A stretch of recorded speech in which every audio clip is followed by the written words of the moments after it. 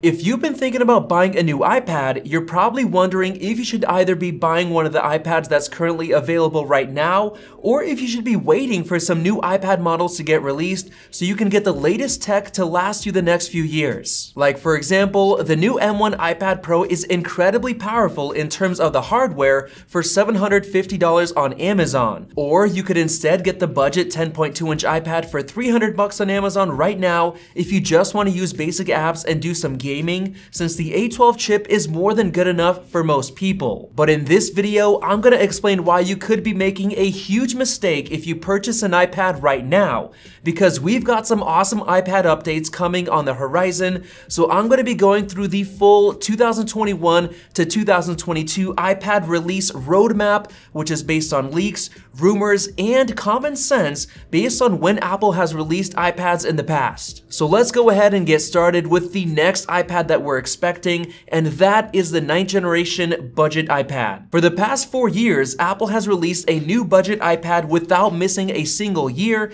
either in March or September. And since March is over, we're expecting a new iPad 9 to get released next month at Apple's iPhone event. And looking at the recent leaks and rumors, Apple is expected to release the iPad 9 in the second half of this year, which points to September. Bloomberg's Mark Gurman also believes that an entry-level iPad is coming as early as this year alongside the new iPad mini. And just based on my own experience, I fully expect the iPad 9 to come next month. Now as far as the features and specs, it's a little bit confusing, but all I can guarantee is that it will not be getting the full modern redesign that both the iPad Pro and the iPad Air already have. It's gonna stick to the same design that it has right now, except that it's either gonna get a larger 10.5 inch display from the iPad Air 3, or it's gonna keep the same 10.2 inch display, but get thinner, like Mark Gurman has mentioned, most likely because it's gonna get a fully laminated display,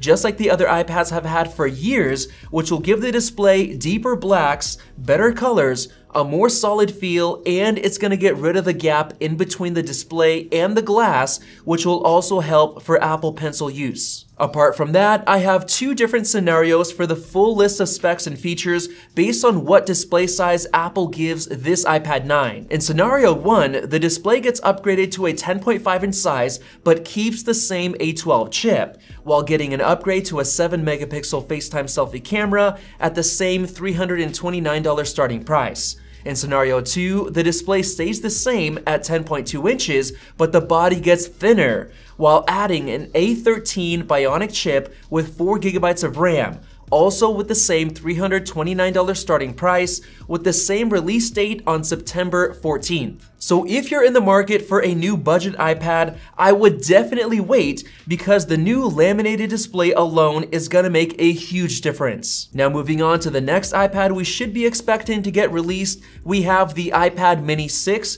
which is also likely to get revealed alongside the iPad 9 as early as this year according to Mark Gurman. We've been expecting an updated iPad 9 since last year, and in January, Mac Otakara said that we're getting a new iPad mini with an 8.4 inch display with slimmer bezels. And then in May, Ming Chi Kuo mentioned that it's getting delayed until the second half of 2021, which lines up with a September release date. And then in June, Mark Gurman gave us a huge update saying that a new redesigned iPad mini with no home button and slimmer bezels will be coming later this year. And then soon after that, Jon Prosser gave us a bombshell by revealing renders created by Ian Zelbo of the iPad mini 6 with a new redesign looking similar to the new iPad Air, with a USB-C port, no home button, an edge-to-edge -edge display, and a Touch ID power button. And Jon said that this iPad mini will be coming with an A14 chip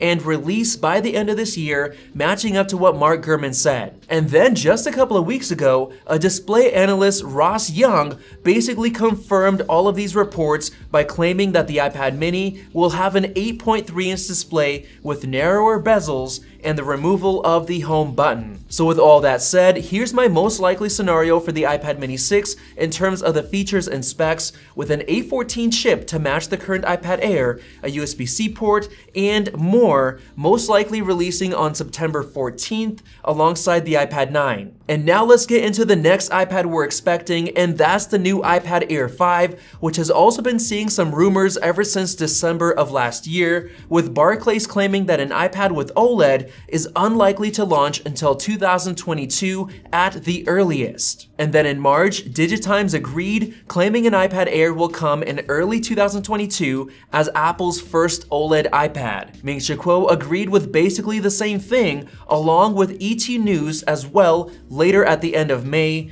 and the ELEC agreeing with them at the end of June. However, a report from Display Supply Chain Consultants put a fire on all of those reports, claiming that an OLED iPad isn't coming until 2023. So if we do get an iPad Air next year, it likely will not have OLED. And I'm personally very confident that an iPad Air is coming next year because the Air has been on a 1.5 year refresh cycle, which would make the next Air likely to launch sometime around March or May of next year. Now going even further, about a week ago, Mac Otakara came out with a report claiming that the iPad Air 5 will be getting a dual lens camera system like on the iPad Pro, along with a four speaker audio system and 5G support alongside possibly a LiDAR scanner. And in my opinion, if it does come out next year, it'll for sure get an A15 Bionic chip, which would make sense because Apple is ordering 100 million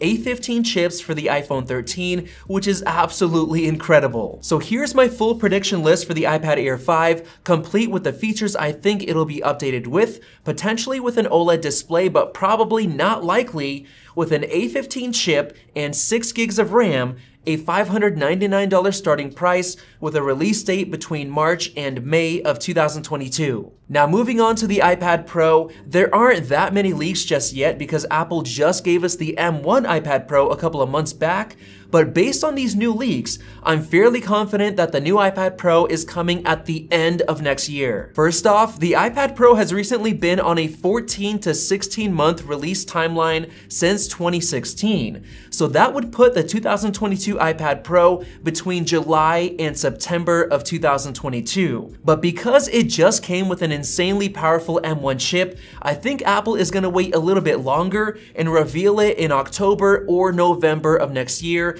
and here is my reasoning for that. According to Nikkei Asia, Apple is likely to debut a next-gen 3nm chip in the 2022 iPad Pro, and since we're still on 5nm right now, I can't see Apple having this 3nm chip ready until very late next year, most likely after the iPhone 14 gets released. The reason for that is because Nikkei Asia expects the iPhone 14 to use TSMC's 4nm technology next year, so it would make sense for the iPad Pro with 3nm to be revealed after the iPhone. And the main reason the iPhone 14 won't jump straight to 3nm next year is because those chips won't have enough initial supply to meet the high demand for iPhones, so it'll have to be 4nm. And this report actually confirms a much older report from TrendForce back in November of last year, saying that the A16 chip in the 2022 iPhones will be based on the 4nm process. So with all that said, I'm calling for an October or November reveal date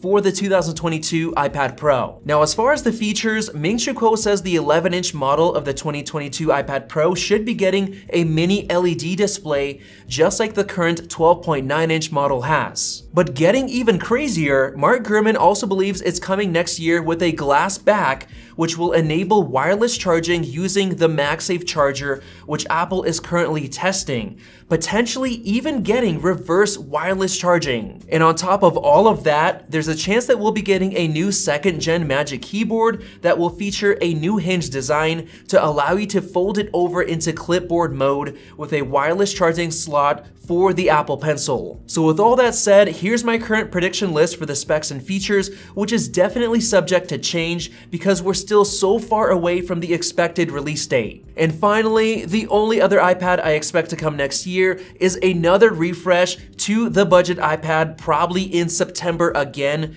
which will most likely be getting the A14 Bionic chip as the major change. So hopefully this video helped you guys out and made a few things clear, and if you decided not to wait on those future iPads, then I have links to the best deals on the current iPads down below, so definitely check it out and click the circle above to subscribe for more videos like this one, and watch one of those two videos right over there to help you decide which iPad to buy. Thanks for watching, and we'll see you in the next video.